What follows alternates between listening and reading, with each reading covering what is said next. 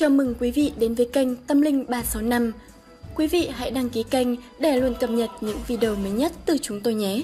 Quý anh chị và các bạn thân mến, sau đây là thông tin chi tiết về top 3 con giáp may mắn trú số độc đắc ngày 15 tháng 4 năm 2023. Thần tài sinh lộc và con giáp hoàn trình hành thông như cá chép phá sông, tiền tài nhiều vô kể, sự nghiệp thăng tiến vượt bậc. Con giáp may mắn đầu tiên được nhắc tới chính là con giáp tuổi thìn. Con giáp này được sao các tinh chiếu nên làm bất cứ việc gì hay đi bất cứ đâu cũng có người giơ tay tương trợ giúp đỡ. Công việc thăng tiến đi lên như diều cạc gió, thu nhập cũng vì thế mà dồi dào hơn. Ngoài ra bạn cũng có dễ tiếp cận được cấp trên trong dung để bạn nên cơ hội thăng quan tiến chức trong tầm tay. Trên tình cảm có phần khô khan, dường như con giáp tuổi thìn rơi vào sa mạc tình yêu thời hiện đại. Do đó bạn hãy dành thời gian và quan tâm hơn cho nửa kia của mình nhé. Người độc thân nên mạnh dạn thể hiện tình cảm. Người tuổi thìn là người hướng ngoại cứng cỏi không chịu thỏa hiệp, sống nhiệt tình lạc quan và có ý chí tiến thủ cao. Trong 12 con giáp thì tuổi thìn là con giáp sáng tạo và giàu trí tưởng tượng nhất đấy. Bảy rồng là con vật trong tưởng tượng, người sinh năm thìn tràn đầy năng lượng và sức mạnh, là con giáp dẫn đầu tất cả. Họ là biểu tượng của sự giàu có và quyền lực, bề ngoài uy phong và dáng dấp to lớn oai hùng của rồng trong thần thoại khiến tư tưởng của con người mở sức bay bổng. Do đó cho dù có hư cấu hay không, phẩm chất thần kỳ của rồng chắc chắn tiềm ẩn ở những ai sinh vào năm thìn. Họ có nhiều người sùng bái như những người tuổi rồng kiêu ngạo thanh cao và vô cùng thẳng thắn, nên ngày từ nhỏ đã tự xây dựng lý tưởng và đòi hỏi những người khác cũng phải có những tiêu chuẩn cao như mình. Dù chú nhóc này là thành viên nhỏ nhất trong gia đình thì vẫn có tính hiếu động và nghịch ngợm, khi cánh vác những nhiệm vụ quan trọng đứa trẻ lớn hơn một chút thường thay cha mẹ chăm nom dạy số đàn em thơ. dòng không phải là người hướng nội, vị trí của họ là bên ngoài thế giới to lớn, giữa đám đông công chúng. Tổ ấm thân yêu của dòng có nét đặc trưng là sự uy nghiêm và trang trọng. Tiềm năng của tuổi thì rất lớn, khát vọng sự nóng vội của họ như thể sự cuồng nhiệt của họ. Cháy bỏng như ngọn lửa được phun ra từ miệng dòng Họ là người có sức lôi cuốn người khác vào cuộc sống của mình một cách rất đặc biệt, không phải luôn luôn dễ cần họ có thể đòi hỏi, không suy tính và quá tự tin về kỹ năng của mình. Người tuổi thìn luôn tìm thấy các giải pháp trong công việc. Khi con giáp này thoải mái, họ sẽ tập trung được năng lượng mạnh nhất trong tinh thần và con người mình. Tuổi thìn có khả năng thu hút sự chú ý của người khác và cũng có những cá tính đặc biệt, đôi khi thay đổi bất ngờ và khó hiểu. Nhìn chung tuổi thìn phần lớn có cá tính mạnh mẽ và có bản lĩnh. Trong cuộc sống họ thường không bằng lòng với thử tại và luôn có ý chí vươn lên. Người tuổi thìn có một số tính cách chung như tính khương ngoại, không thỏa hiệp, số nhiệt tình, lạc quan, có ý chí tiến thủ cao. Những người tuổi rồng có sức sống mãnh liệt với vẻ bề ngoài toát lên khí phách oai hùng và lẫm liệt. Không chỉ có vậy, rồng còn hội tụ đầy đủ những tinh hoa phẩm chất đẹp của một con người. Sự thật thà, bao dung và yêu thương. Người tuổi này có tâm tư trong sáng tính tình thành thật, có năng lực thích thực hiện kế hoạch riêng. phải vừa diện tình cảm, họ thích tạo ra cảm giác lãng mạn. Nữ mạng siêu năng tiết kiệm, đảm đang tháo vát. Họ có con mắt tinh tế nhìn xa trông rộng, thấu hiểu góc cạnh của vấn đề. Bởi vậy trong công việc họ luôn cảnh báo cho mọi người nguy hiểm đang dì dập phía sau. Nhờ vào sự tinh tế ấy mà thủy thìn dễ dàng thấu hiểu tâm tư, thấu niềm thầm kín của người khác. Từ đó tìm cách chia sẻ giúp đỡ những người đang gặp khó khăn và hoạn nạn. Là người hiếu khẩu vô tâm đưa duyên tốt đẹp, tính tình vui vẻ lợi về đường làm quan và dễ thân cận người quyền quý. Có nhiều hình khắc con cái không ít nữ mạng hiền lương, vợ phù ích tử. Người tuổi này thường thông minh lành lợi, biết kết giao bằng hữu có khả năng lãnh đạo tốt, tính tình cởi mở và cương trực, hay từng người không cầu kỳ kiểu cách hoặc giả dối gặp lúc khốn khó vẫn kiên trì phấn đấu. Nữ mạng giỏi giang, sự nghiệp hưng vượng ở tuổi trung niên. Về sau tài lộc thịnh vượng, họ coi trọng chữ tín và luôn có cố gắng làm việc hết sức mình. Một khi đã hứa, thì thì nhất định sẽ thực hiện bằng mọi cách, không để người khác mất niềm tin với bản thân mình. Đôi lúc họ cũng mơ tưởng rằng không thực tế những điều đó có giới hạn. Thầy Thìn là người không bao giờ sợ hãi hay lùi bước trước gian nan và thử thách, ngược lại càng khó khăn, ý chí quyết tâm họ càng dâng cao. Đó chính là lý do khiến người tuổi thìn luôn chinh phục được những khó khăn người khác không thể nào vượt qua. Với vẻ ngoài lạnh lùng, họ sẽ khiến người khác hiểu lầm và xa lánh. Thực ra tuổi thìn bệnh kim là người sống rất tình cảm, có trái tim giàu lòng vị tha, nhân ái. Họ sẵn sàng giúp đỡ mọi người hết mình và không nhu cầu lợi ích cho bản thân. Con giáp này khi trưởng thành dù không phải là người nổi tiếng và danh vọng cao, nhưng nhiều người biết đến và kính nể thường gặp hoàn cảnh tốt. Người này thường có tính đa tình đa cảm về phương diện tình cảm không được tốt, cần chú ý đến tính cách đa tình của mình. Khát vọng rồng như một ngọn lửa dự cháy có thể thiêu đốt tất cả những khó khăn nguy hiểm ở phía trước. Họ rất dễ bị ảnh hưởng sâu sắc bởi quyền lực, địa vị và cuộc sống xa xỉ. Họ là người có hành động mạnh mẽ, dứt khoát, vô cùng quyết đoán, từ thì một khi đã đặt ra mục tiêu thì nhất định sẽ thực hiện được. Tuy nhiên, sự tự tin như một con dao hai mặt, nếu chủ quan con dao ấy có thể đâm sau lưng họ bất kỳ lúc nào. Cảm ơn quý anh chị tuổi thìn đã dành thời gian theo dõi video. Chúc quý anh chị tuổi thìn có một ngày làm việc may mắn và gặp nhiều thành công. Con giáp may mắn tiếp theo được nhắc tới chính là con giáp tuổi dân. Con giáp may mắn này có nhiều khả năng sẽ phát tài, kiếm được khối tiền của khiến nhiều người xung quanh ghen tị. Những khoản đầu tư không chỉ mang đến cho bạn cuộc sống thoải mái, không chỉ có vậy, bản thân mà gia đình và người thân của bạn cũng được thâm lây. Về chuyện tình cảm, mối quan hệ của các cặp đôi thì không còn nồng nàn như thuở mới yêu, nhưng đã bước vào giai đoạn vô cùng ổn định. Còn với những người còn đang cô đơn lẻ bóng, dường như sự ân cần và tinh tế của một người đang khiến trái tim của bạn đập lên một cách loạn nhịp đấy. người tuổi dần rất nhạy cảm, giàu cảm xúc, quyến rũ nhưng lại hung hăng và bướng bỉnh hay nghi ngờ người khác. Người tuổi hổ tượng trưng cho sức mạnh vĩ đại nhất trên trái đất và là biểu tượng bảo vệ cuộc sống của con người. Người xưa tin rằng người tuổi dần trong nhà thì không sợ gì trộm cắp hỏa hoạn và những kẻ có tả ý. Tuy nhiên nếu có hai con hổ trong cùng một nhà thì một con sẽ phải ra đi. Mạnh mẽ và kiêu hãnh có lương, tuổi dần có tính cách của những nhà lãnh đạo mạnh mẽ. Họ thích chỉ huy người khác và ưu tiên được muốn làm người số một. Trong bất kỳ tình huống nào dần cũng là người đầu tiên bắt tay vào hành động. Họ rất can đảm, dũng cảm và hoang dã. Khả năng nổi loạn cộng với ý chí sắt có thể khiến họ gặp rắc rối, nhưng cũng có thể là một trong ngọn lửa thành công. Người sinh năm dần có sức mạnh và sự quyết liệt giống như con giáp mà họ mang tên. Lòng can đảm khiến họ rất được tôn trọng, ngay cả bởi những kẻ chống đối. Con giáp này rất tự tin. Đôi khi quá tự tin họ thích người khác nghe theo mình.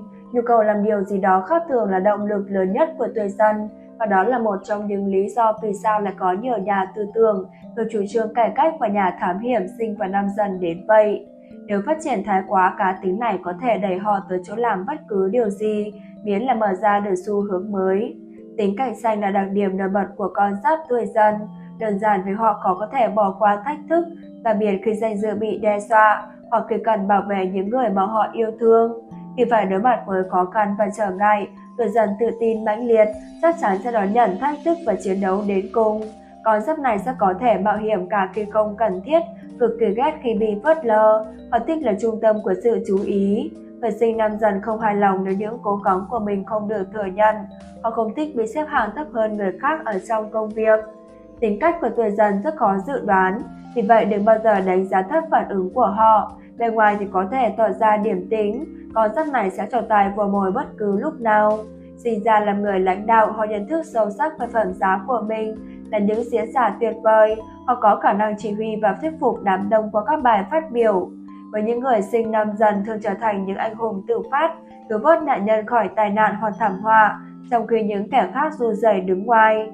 Nếu đứng trong hàng ngũ nhân viên, họ có thể tỏ ra bướng bỉnh và cố chấp. Ở vị trí lãnh đạo thì họ có thể là một ông chủ khó tính, rồi biết động viên khuyến khích cấp dưới. Người tuổi dần thông minh, cảnh giác cao và cũng nhìn xa trông rộng. Họ thích những công việc cho phép phát huy tính độc lập và không để người khác lãnh đạo. Thông thường họ sẽ tiến lên vị trí cao nhất, đồng nghiệp và đối thủ e xe, thậm chí khiếp sợ họ. Bạn bè người thân cảm thấy bình an vì được ở bên một người, bảo trợ mạnh mẽ. Người tiền dần thường bầu trực đôi khi tới mức thiếu tế nhị và khiến người khác bị xúc phạm. Bên ngoài họ có vẻ bình tĩnh và tự kiểm soát tốt, nhưng sâu bên trong vẫn ẩn náu sự hung hăng nhất định. Thời gian sẽ hoàn toàn trung thực về cảm xúc của mình, mong đợi điều này ở những người xung quanh. Nếu có tranh cãi, họ sẽ luôn mong đợi nhận được sự ủng hộ của bạn bè và người thân. Rất quan tâm tới cách mọi người đánh giá về nhân phẩm và quyền lực của mình. Họ cố gắng hết sức để giữ gìn những ấn tượng đẹp. Nói chung, tuổi dần thiếu kiên nhẫn và không phải là người chậm nhưng chắc. Họ thích hoàn thành công việc một cách cấp rút. Họ không thích nói chuyện logic. Và khi thất vọng, họ chỉ cần một đôi tai biết lắng nghe để chút đi những nỗi bực dọc. Không cần bạn phải phân tích ai đúng, ai sai. Thì đôi khi có thể ích kỷ trong những việc nhỏ nhặt, dần dần có thể tỏ ra hào phóng trong những việc lớn, nồng nhiệt lạc quan và bốc đồng. Sống chung với người tuổi dần sẽ chẳng khác gì tham gia các trò chơi tạo cảm giác mạnh, cuộc chơi sẽ đầy ắp tiếng cười, niềm vui, nước mắt và sự tuyệt vọng. Tuổi dần nói chung là lạc quan, nhưng những thất bại trong cuộc sống riêng tư hay trong sự nghiệp có thể khiến họ rơi vào trầm cảm. Họ không thích che giấu cảm xúc của mình. Người tuyệt dần sẽ muốn tất cả mọi người ngồi đó nghe họ than phiền về sự bất công, những lời chỉ trích từ người thân cũng có thể khiến họ chán nản. Tuy nhiên, giống như tất cả các loài mèo, họ luôn tiếp đất bằng đôi chân của mình. Họ không gục ngã mà sẵn sàng cho hành động tiếp theo. Cảm ơn quý anh chị tuổi dần đã dành thời gian theo dõi video. Chúc quý anh chị tuổi dần có một ngày làm việc may mắn. Con giáp may mắn tiếp theo được nhắc tới chính là con giáp tuổi ngọ. Hôm nay những người con giáp thuộc con giáp này thường có tính cách ôn hòa, biết cách xây dựng các mối quan hệ xã giao tốt đẹp, do đó mà bạn lại có thêm những quý nhân phù trợ bạn, tạo nên những cơ hội đầy hứa hẹn đến với bạn. Đồng thời bạn gặp thuận lợi trong cả công việc lẫn tài lộc trong thời gian tới nay. Dù bạn là người làm công, ăn lương hay là đầu tư kinh doanh thì đều có khoản tiền tương xứng với công sức mà bạn đó bỏ ra từ bấy lâu nay nhé. Một cố gắng nỗ lực của bạn sẽ đạt được thành quả thành công. Còn về chuyện tình cảm thì hãy bình tâm để đừng bị lung lay bởi sự quyến rũ của người khác. Chính vì mối quan hệ hiện tại nên là hạnh phúc lâu dài mà bạn cần tập trung theo đuổi. Đừng có rung động mà làm mất đi mối tình cảm bền đẹp này mà theo mối tình khác nhanh chóng.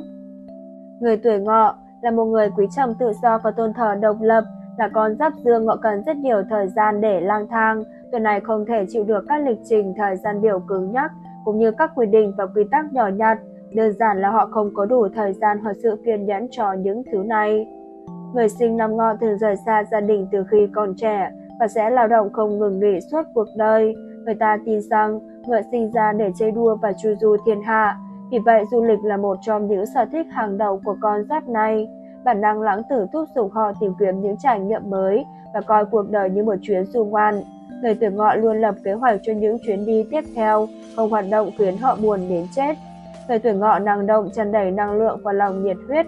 Đa số họ sinh ra để làm việc, tuổi này thường lao động hết mình, bất kể đó là việc gì, mệt mỏi hay khó khăn trồng chất không thể ngăn họ nỗ lực để hoàn thành nhiệm vụ. Tố chất mạnh mẽ và bền bỉ này giúp họ trở thành những nhân viên xuất sắc.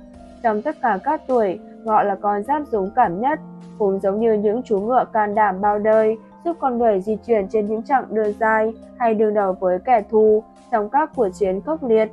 Người tuổi ngọ thể hiện sức mạnh nội tâm mãnh liệt và quyết tâm sắt đá, ngay cả khi phải đối đầu với khủng hoảng và khó khăn, họ vẫn tiến lên phía trước. Họ luôn muốn dốc hết sức lực của mình để thử thêm một lần cuối. Đó là biểu hiện của sự tự tin to lớn trong họ, từng họ sẵn sàng đối đầu với thử thách ngày càng khó khăn hơn. Tràn đầy dũng khí, họ sốt sắng vượt qua dòng sông trở ngại. Không chỉ mạnh mẽ, từng họ còn là những con người đáng tin cậy, chân thật và trung thành. Nếu đã hứa hẹn điều gì, họ sẽ cố gắng hết mình để thực hiện. Họ chẳng mấy khi khiến bạn phải thất vọng vì rất kiêu hãnh và tự lập, người tuổi ngọ vẫn cần bạn đồng hành, họ còn một bờ vai để có thể chung sống hài hòa, để được chỉ dẫn khuyên nhủ. Cũng giống như ngựa tốt cần đến bàn tay chăm sóc của người cưới, tuổi ngọ cần có bạn bè hoặc bạn đời tốt để bộc lộ toàn bộ sức mạnh và ý chí, phản bác tốt bụng, mau miệng, hài hước. Người tuổi ngọ thường thích hội hè và được nhiều người biết đến. Nhiệt tình và thẳng thắn họ rất dễ kết bạn. Các mối quan hệ xã hội cực kỳ quan trọng với người tuổi này. Họ thường có nhiều bạn bè thân thiết, Họ thích dành phần lớn thời gian với một nhóm bạn và rất quan tâm tới cách người khác cảm nhận về mình. Thật khó để người tuổi ngọ giữ được bí mật cho riêng mình. Thoải mái tự tin trước đám đông, người tuổi ngọ là một diễn giả rất có sức thuyết phục. Họ không ngại nói ra sự thật, họ cũng quá chính trực và vô tư để có thể lùi bước trước sự bất công. Trí thông minh tuyệt vời giúp tuổi ngọ nắm bắt vấn đề một cách dễ dàng. Họ có khả năng thực hiện cùng lúc nhiều nhiệm vụ, nhưng không phải bao giờ cũng hoàn thành công việc đã bắt đầu. Họ luôn mải mê săn đuổi cơ hội mới, do có quá nhiều mối quan tâm từ ngọ thường chọn công việc theo hứng. Họ hành động một cách bộc phát và hiếm khi cân nhắc chúng một cách kỹ lưỡng. Khi vỡ mộng vì kết quả không được như mong muốn, họ có thể bỏ dở công việc và chuyển ngay sự chú ý sang vấn đề khác. Nhanh nhẹn, linh hoạt, tuổi ngọ thích nói năng suy nghĩ, ăn uống, hành động một cách chóng vánh, do đó có xu hướng bỏ qua các chi tiết. Họ yêu luyện tập cả thể chất và tinh thần. Để thỏa mãn tính thất thường của mình, họ thay đổi ý định liên tục, thậm chí tiểu xuyên phát hứng thú với các dự án trước khi chúng được hoàn thành. Nhờ đa tài, tuổi ngọ có thể thành công trong rất nhiều việc, tuy nhiên họ lại rất khó chịu và chịu đựng thất bại. Nếu sự việc không thành, họ thường không thể làm tiếp công việc đã đổ vỡ. Tuổi ngọ thường mướng mình và cứng đầu, tính khí bốc lửa và khả năng thay đổi tâm trạng nhanh như gió, đôi khi khiến họ trở nên nguy hiểm có giáp này còn bỏ lòng với bất kỳ hình thức kiểm soát hay tạo áp lực nào, rất ghét bị dồn vào đường cung. Trái lại họ thích làm một việc theo cách của riêng mình. Tuổi ngọ có thể hơi quá tập trung vào bản thân và đôi khi còn nổi cơn tam banh khi một chuyện không được như ý. Khi ai đó xóa vuốt vừa không đúng cách, nó sẽ cắn, đá hoặc đáp trả ngay không chút chân chư. Cảm ơn quý anh chị tuổi ngọ đã dành thời gian theo dõi video. Chúc quý anh chị tuổi ngọ có một ngày làm việc may mắn và gặp nhiều thành công. Quý anh chị và các bạn thân mến, trên đây là toàn bộ thông tin chi tiết về top 3 con giáp may mắn ngày 15 tháng 4 năm 2023. Hy vọng rằng với những thông tin trên sẽ giúp quý anh chị và các bạn chủ động hơn trong công việc cũng như trong cuộc sống của mình, giúp quý anh chị và các bạn luôn hành thông trong cuộc sống. Và để không bỏ lỡ những video mới nhất từ Tâm Linh 365, quý anh chị hãy hoan hỉ đăng ký kênh miễn phí để ủng hộ cho ban biên tập chương trình. Hoặc quý anh chị có thể truy cập vào đường link Facebook Tâm Linh 365 đã được gắn link ở dưới phần mô tả. Còn bây giờ, xin chào và hẹn gặp lại quý anh chị và các bạn trong những video tiếp theo.